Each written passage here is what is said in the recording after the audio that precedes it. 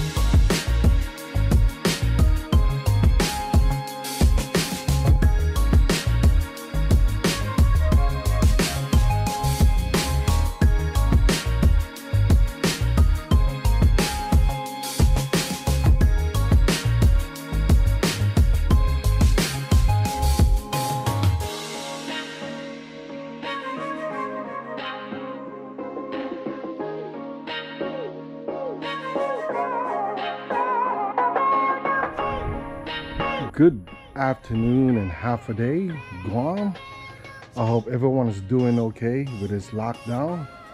So as you know uh, for some of you that are not from Guam the government extended the lockdown for another month I believe till the end of September. What does that mean for us? Well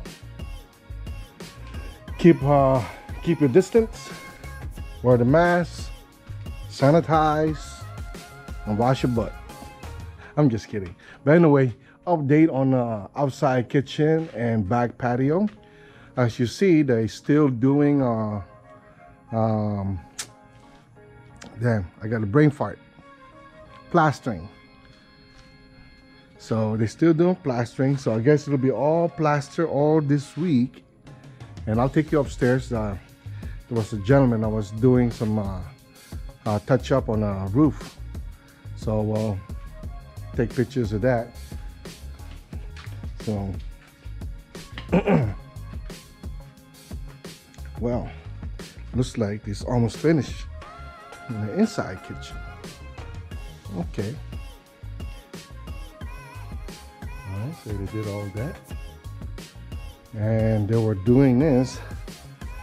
I mean, it doesn't seem a lot, but man, that's a tedious work.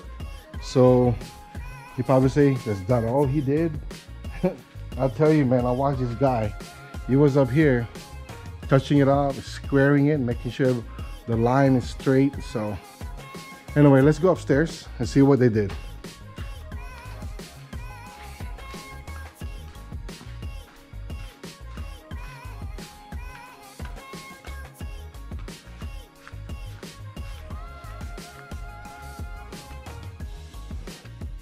I'm not gonna climb all the way up, but uh,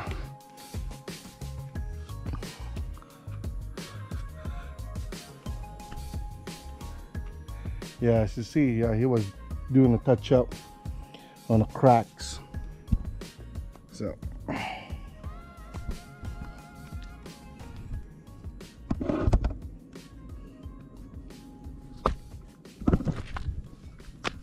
Okay, here we go.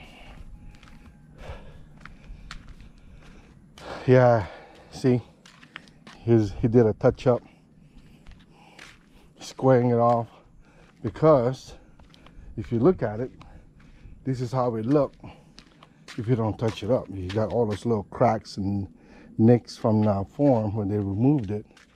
So they're gonna smooth all this out.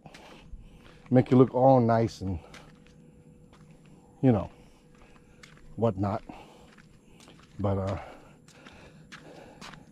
yeah they're gonna fix all that up they're gonna cut all these rebars off and uh, seal it. So. And uh, I had mentioned to the contractor that when it rains it has water pockets. You're just sitting in there. So what I told him to do is uh, build that up make everything you know kind of come to the hole or the drainage hole. So. And when it rains as you see see? So they're gonna make a lip so everything will go down in there to that drainage that drainage. So but yeah this is the update for the outside kitchen and back patio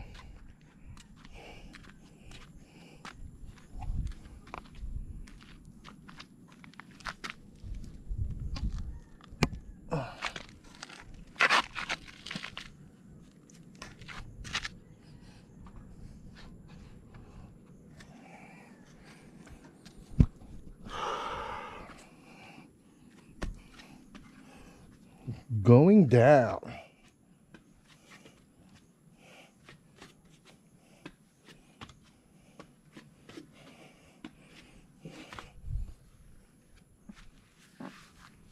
So anyway, today, what I did is uh, did my yard.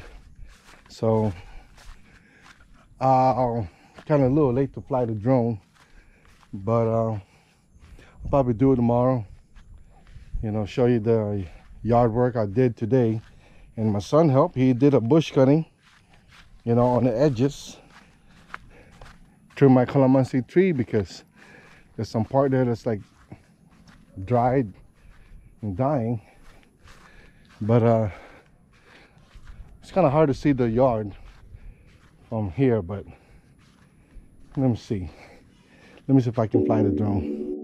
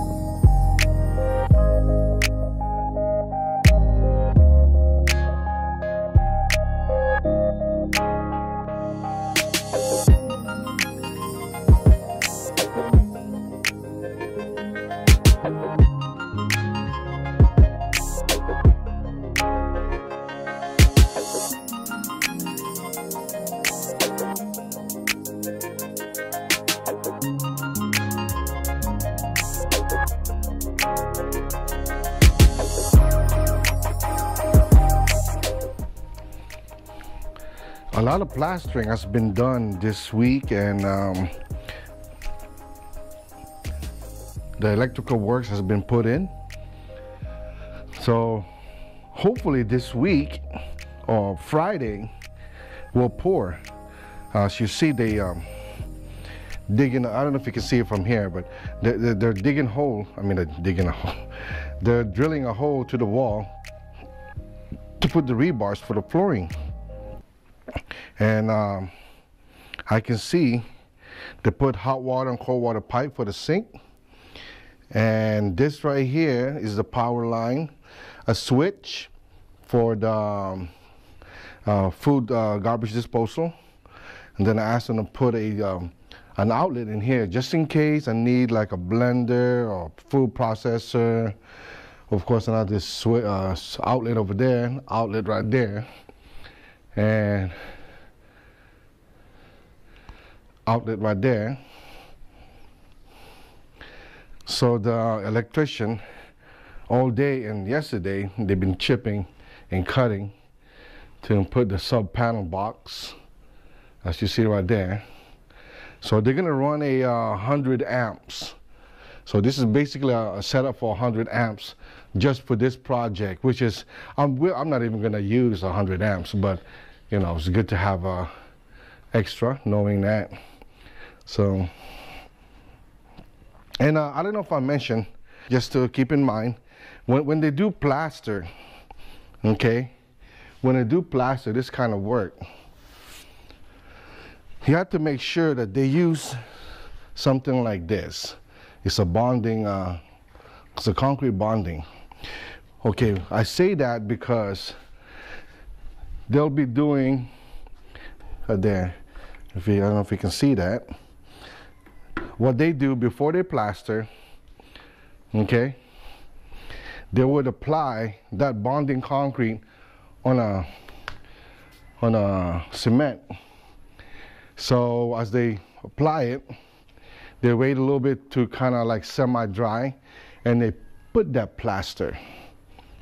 And what it does, it, it bonds a lot better and harder to the concrete together. So you get a good solid uh, bonding, you know, solution.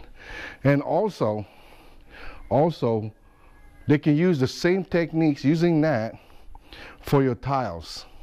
So when they lay tiles, it's best to, again, uh, brush it or do a roller sequence, you know, do a roller method on uh, concrete and then apply the thin set and then the, the tiles. Now, in the past, I've seen a lot of the contractors and some do, some don't. They don't use those methods. They just do uh, thin set, okay? But I run into some where they, they, they do that method. They put the bonding um, agent to the concrete. They take the thin set and they add cement just to make it a little stronger so it bonds really good. You know, um, let me uh, get a stick and I'll, and I'll show you something because honestly, I wasn't here when these tiles were being put on. So I'll give you a perfect example. Let me just find a stick. Uh, I was holding a stick earlier.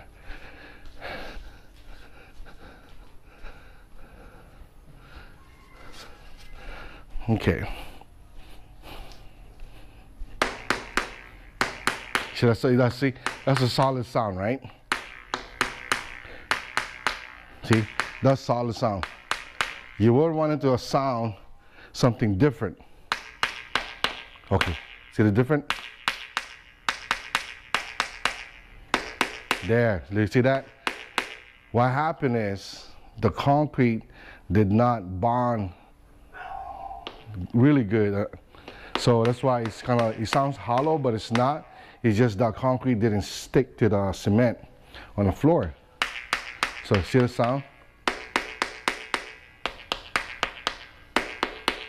See, this one right here, the concrete did not uh, cure properly. So, see right here, the same thing.